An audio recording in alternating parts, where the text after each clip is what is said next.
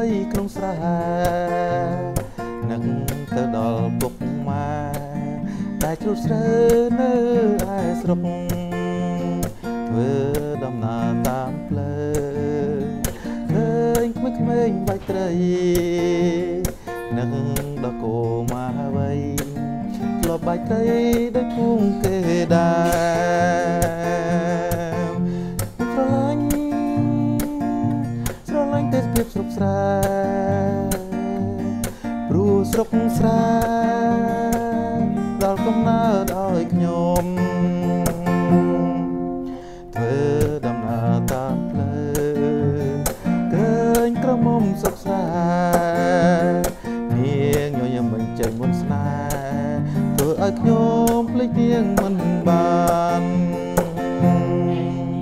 ខ្ញុំស្រឡាញ់ស្រឡាញ់ទេសភាពស្រុកស្រែ ព្រោះស្រុកស្រែក៏កំណើតឲ្យខ្ញុំធ្វើដំណើរតាមផ្លូវ